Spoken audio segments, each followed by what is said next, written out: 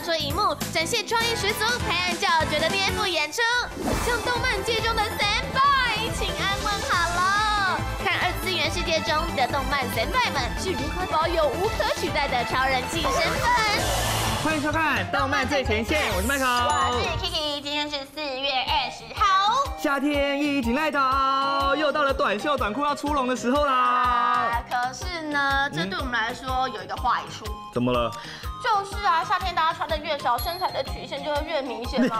哦，你也知道镜头会放大，我对永。远觉得自己没有瘦下来的一天呢。哎，你一讲这件事，我就好想缩小腹，而且镜头前的县民们一定都觉得说，那个砍头啊，那个砍头啊，自己吃胖了还在那边砍头啊，哎，你自己还不是一样？好了，不要闹了。哎、不过你说到瘦身这件事情哦，哎、我前几天在滑手机的时候发现啊、c o s e r 跟你有一样的烦恼哎哦，因为冬天的时候大家都会吃的比较丰腴一点点啊，然后他现在要 cos 一些比较 fit 的角色的时候，哦就会很担心，就自己不小心把角色给惊开了。嗯，所以啊，他们就要很努力的要瘦下来哦。哎、我发现最后能够成功的、啊，都是那些对角色有崇高敬意，而且真的非常喜欢的人才有办法瘦下来。真的要很喜欢才可以，因真的为在日本呢，有一名 coser，他为了自己要 cos 的角色，整整瘦了五十三公斤，五十三哎，哦，整个我都不见了。真的假的啊？了不起哦？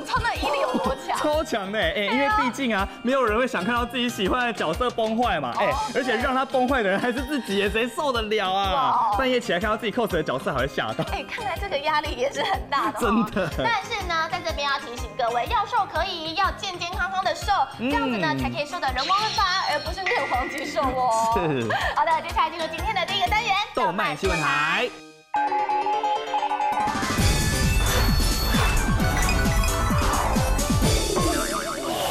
首先介绍的是三鬼本家的餐桌全一集。三个日本小餐馆的老板娘智子，她和年轻的社长李次郎相恋，并且决定要再婚了。哦可是智子她不只有三个儿子，还都是难以管教的不良少年。啊究竟李次郎该如何做，才可以让这三个小孩都认同他，接受他这位父亲呢？接下来要介绍的是杰克雷尔托尔神漫画战记第一集。杰克雷亚托尔呢是仙人界的漫画杂志周刊仙人 Sunday 的漫画责任编辑哦。那这一次啊，打算要以人界一个极普通的少年为主角，要在仙界创造出崭新的漫画啦。接下来介绍的是《前世是花魁》第二集。是是以擅长描写江户时代花街而闻名的少年小说家。哦那有一天呢，他遇见了同校的少女真秀，他就知道了原来自己的前世是头号花魁。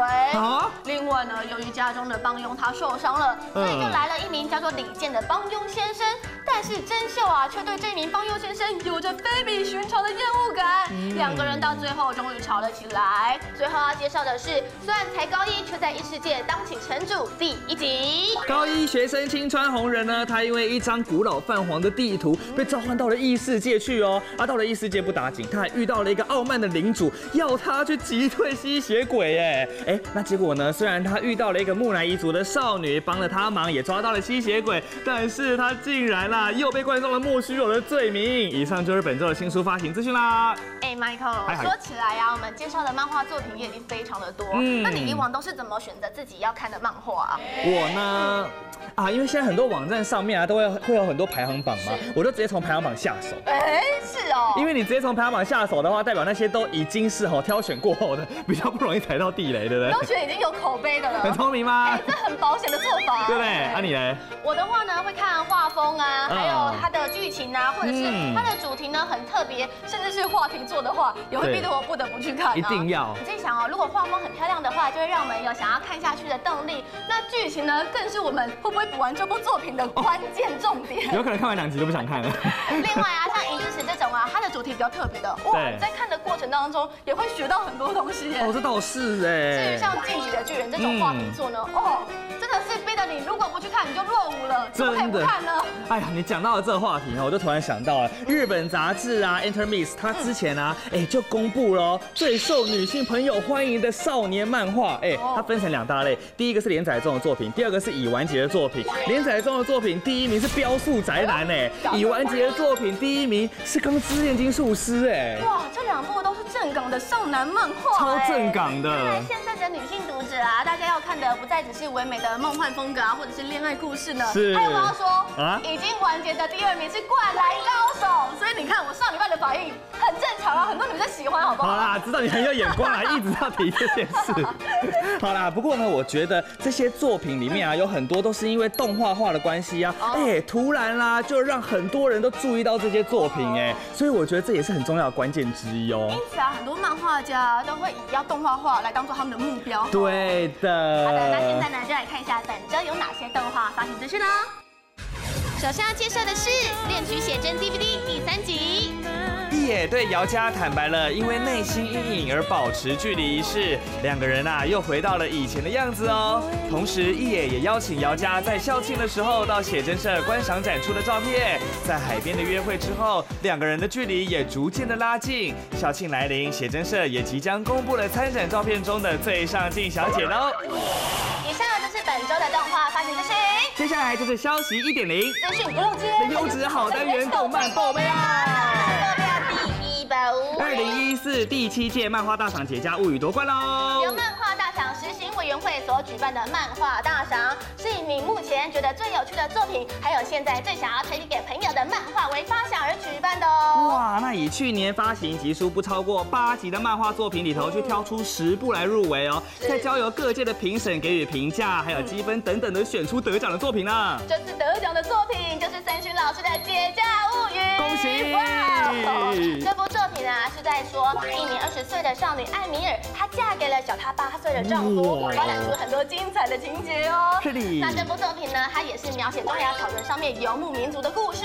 那其他得奖的作品啊，其实也跟《节家物语》一样，非常具有独特性，而且引人入胜啦。我觉得看完这些得奖名单之后啊，所有的作品我都觉得要来去看一遍啦。哎呦那至于这些得奖名单有哪一些呢？大家可以上网搜寻一下啦。接下来是动漫波标第二报。赤东昭二原著轻小说《甘城光辉游乐园》动画化决定。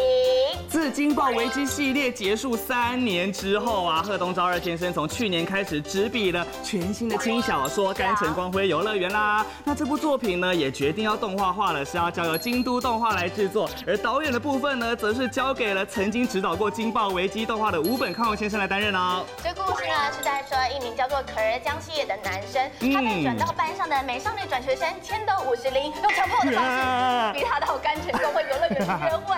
可是这个游乐园是大家所说的约会失败圣地耶，啊地方由于来客数减少，所以面临了倒闭的命运呢。那来到游乐园的西野呢，遇到了一个长得很像公主的园长哦，而这个园长呢，交代他们一个几乎是完全不可能达成的任务，就是啊，要在两个礼拜里面让这个游乐园的到客数超过十万个人呢，这边让我扣零啊这。个办不到嘛？那西野他们又会怎么做呢？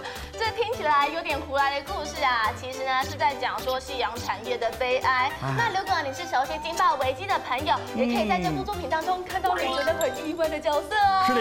最后是动漫宝贝亚第三包。卡马托拉超能侦探社心灵判官续作揭秘，一月新番《卡马托拉超能侦探社》在最终回的时候出现的 To be continue 的字样，哎呀。哇，大家看了之后觉得很期是那官方的推特啊也表示说，哦，蛤蟆偷啦 Project 不会结束哦，至于会不会有第二期，大家拭目以待喽。那至于先前人在 Okinawa 的这个徐元玄老师啊，他在冲绳国际电影节的时候也透也透露了、哦，心灵判官的动画呢，它的第二期呀、哎，会在十月的时候就播出哎，而且内容呢会把一期的这些疑点通通都解开。除此之外，二期的动画还会有全新的小队，哎，不知道是不是真的哦？哇，好期待哦！真的另外大家很关心的剧场版啊，预计会在十二月的时候上映。是哦，看来今年呢、要在薛恩老师投下的震撼弹当中结束了呢。太好了以上就是本周的动漫报备啊。接下来就赶快跟着我们一起前进台北科教馆吧。想要知道 Line 的秘密吗？那就跟着我们一起赖下去吧，进行下一个单元，动漫是不是？